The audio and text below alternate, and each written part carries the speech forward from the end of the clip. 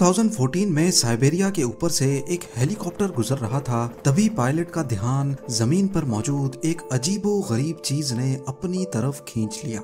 एक बहुत बड़ा सिंक होल जिसकी चौड़ाई 80 फीट और गहराई 15 स्टोरी बिल्डिंग जितनी थी।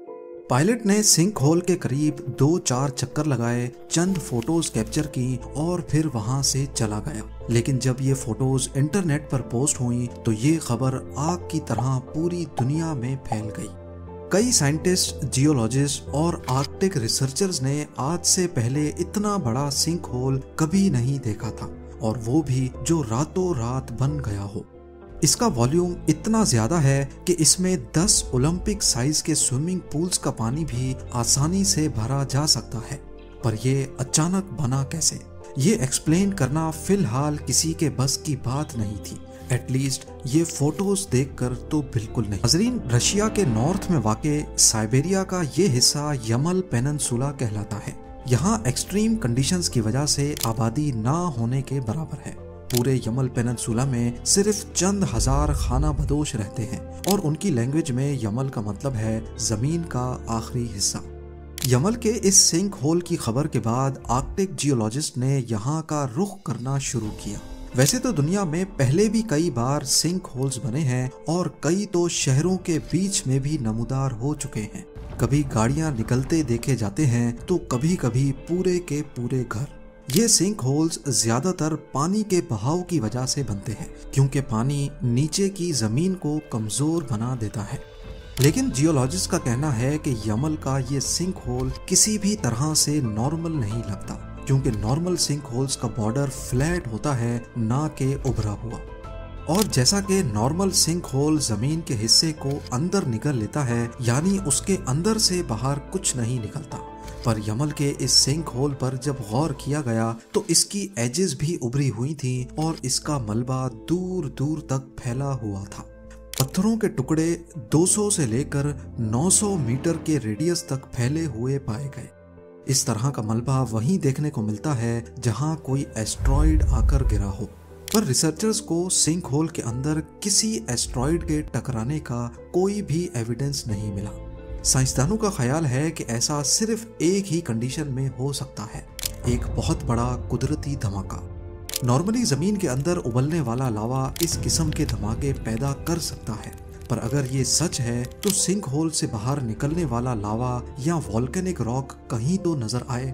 इस सिंक होल के इर्द गिर्द पत्थर तो हैं, लेकिन इनका वॉल्केनो से दूर दूर तक कोई रिलेशन नहीं बनता। फिर आखिर क्रेटर जैसा दिखने वाला ये सिंक होल बना तो बना कैसे? ये जानने के लिए इसके अंदर हवा, पानी और मिट्टी के कुछ सैंपल्स कलेक्ट किए गए और इस बार साइंसदानों को एक दिलचस्प सुराग मिल ही गया। इन तमाम सैंपल्स को जब टेस्ट किया गया तो इसमें एक चीज़ बहुत ज़्यादा क्वांटिटी में पाई गई, मीथेन गैस। खाना पकाने और गर्माइश के लिए इस्तेमाल होने वाली मीथेन एक नेचुरल गैस होती है जो कि कार्बन और हाइड्रोजन के साथ मिलकर बनती है। अगर ये ज़्यादा क्वांटिटी में हो तो हवा से मिलने पर इसमें फ़ौरन आग भड़क उठती है। अब इस बात के काफ़ी ज़्यादा चांसेस थे कि ये सिंक होल ज़मीन से निकलने वाली मीथेन गैस की वजह से बना था। ये मिस्ट्री अब साइंसदानों के लिए खत्म हो चुकी थी। और उनका इस मामले की गहराई तक जाने में कोई इंटरेस्ट नहीं बचा था। पर इससे पहले कि वो ये जानते कि इतनी ज़्यादा मीथेन गैस आई कहाँ से है, यमल पेननसुला पे ही आठ मजीद सिंक होल्स बरामद हो गए। ये सारे सिंक होल्स भी सेम उसी तर्ज के बने हुए थे कि जैसे यहाँ कोई धमाका हुआ हो। जब सैटेलाइट इमेजेस में देखा गया तो मालूम पड़ा कि 2014 के बाद यहाँ एक के बाद एक सिंक होल्स बनते जा रहे हैं। तेज़ी से बनने वाले सिंक होल्स आखिर किस चीज़ का इशारा दे रहे थे? साइंसदान ये जानने के लिए अब फिक्रमंद होने लगे।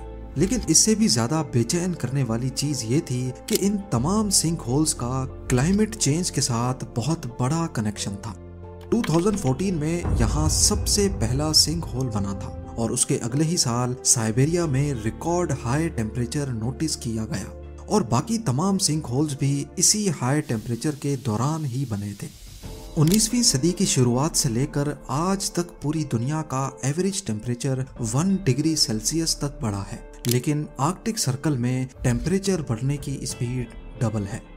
तो अब साइंसदान ये सोचने पर मजबूर हो गए कि इन सिंक होल्स का क्लाइमेट चेंज के साथ क्या कनेक्शन है और अर्थ का फ्यूचर क्या होगा अगर ये एक एक करके बढ़ते गए। एक तरफ़ यमल के सिंक होल्स पर गहरी रिसर्च चल रही थी तो दूसरी तरफ़ यमल से बहुत दूर आर्कटिक सर्कल में ही साइंसदानों की एक दूसरी टीम को कुछ अनोखा देखने को मिला, जो शायद यमल के सिंक होल की पहेली को सुलझाने की सबसे अहम कड़ी थी। अलास्का के नॉर्थ वेस्ट कोस्ट के करीब इजी लेक है, जो लोकल्स के मुताबिक कुछ महीनों से बहुत ऑड बिहेव कर रही है। इजी लेक के अंदर से बबल्स निकल रहे हैं, जैसा कि पानी बॉयल हो रहा हो। इस मिस्ट्री की खोज में साइंसदानों की एक टीम यहाँ पर आ पहुँची। इन बबल्स के सैंपल्स लिए गए तो मालूम पड़ा कि ये भी मीथेन गैस के बबल्स हैं। आर्कटिक रीजन में हल्की फुल्की मीथेन गैस का लीक होना एक बहुत कॉमन बात है। लेकिन इस केस में हैरानी की बात यह थी कि इजी लेक से हर रोज 10 टन मीथेन निकल रही थी। पूरे आर्कटिक रीजन में ये पहली बार हो रहा था कि कहीं से इतनी ज़्यादा मीथेन गैस निकली हो। रिसर्च टीम ने इजी लेक में पानी के अंदर जाकर मीथेन गैस का सोर्स देखने का फैसला किया। वैसे तो इजी लेक तीन फुट गहरी है, लेकिन जिस जगह से बबल्स निकल रहे थे, वो जगह बहुत ज़्यादा डीप थी, जहाँ डाइवर्स का जाना मुमकिन नहीं था। लिहाजा सोनार स्कैनिंग की मदद से इजी लेक के नीचे ज़मीन का एक थ्री मॉडल बनाया गया। मालूम पड़ा कि जहाँ से बबल्स निकल रहे हैं, वहाँ लेक 50 फीट तक डीप हो जाती है। एक तरफ़ यमल में सिंक होल्स के बनने की वजह भी मीथेन गैस ही बताई जा रही थी। दूसरी तरफ़ इजी लेक के नीचे से भी बहुत ज़्यादा क्वांटिटी में मीथेन गैस लीक हो रही थी। ये दोनों लोकेशंस आर्कटिक सर्कल में ही आती हैं और तो और इन दोनों के बीच में एक चीज़ और भी कॉमन है। वो ये कि ये दोनों लोकेशंस ज़मीन की ऐसी किस्म के ऊपर मौजूद हैं जिसको परमाफ्रॉस्ट कहा जाता है। परमाफ्रॉस्ट उस किस्म की ज़मीन को कहते हैं जो अंदर से पूरी तरह से फ्रोजन हो, जमी हुई हो। ये बहुत बड़े एरिया पर फैली हुई ज़मीन है, जिसमें रशिया, कनाडा और अलास्का का काफ़ी हिस्सा शामिल है। रिसेंट रिसर्च से मालूम पड़ा है कि आर्कटिक सर्कल में टेम्परेचर बढ़ने की वजह से परमाफ्रॉस्ट अब पिघलना शुरू हो गया है। यानी जिस ज़मीन पे लेक्स पहाड़ रिवर्स और जंगलात के साथ साथ इंसान के बनाए हुए स्ट्रक्चर्स खड़े हों, वो अंदर से मेल्ट हो जाए तो इसके नतीजे में जो कुछ होगा, उसको इमेजिन करना भी काफ़ी मुश्किल है। परमाफ्रॉस्ट की मेल्टिंग का सबूत इजी लेक से 600 किलोमीटर दूर अलास्का में फॉक्स टाउन के करीब जंगलात में छुपा हुआ है।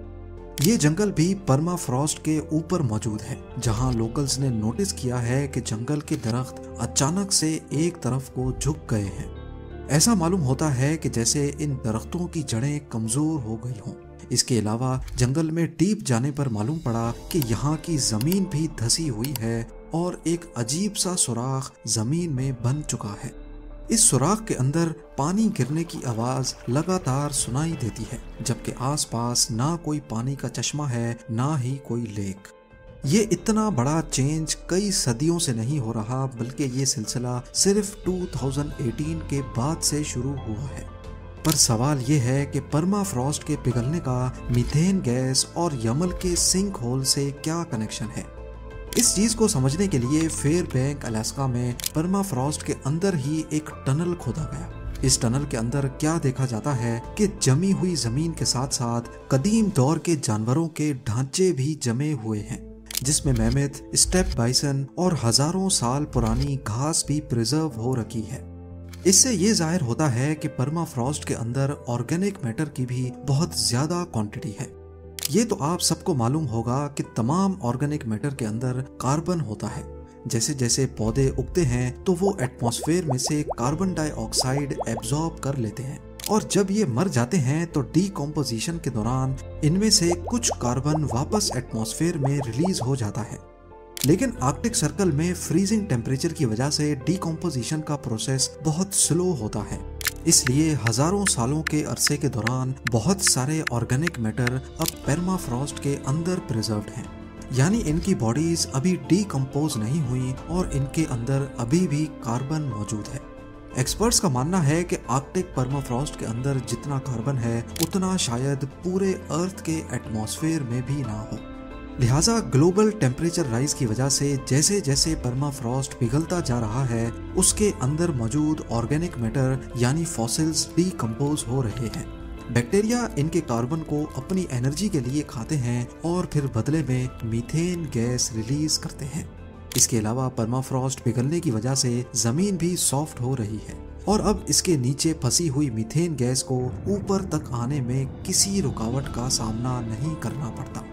गैस आसानी से नरम मिट्टी में अपना रास्ता बनाती बनाती सरफेस के वीक पॉइंट से फटकर बाहर आ जाती है। ये सिंक होल्स इसी गैस के निकलने की वजह से बने हैं। यही वजह है कि आर्कटिक सर्कल में इन सिंक होल्स की तादाद दिन ब दिन बढ़ती जा रही है।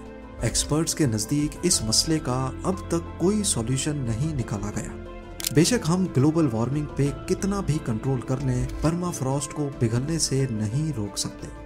See you soon.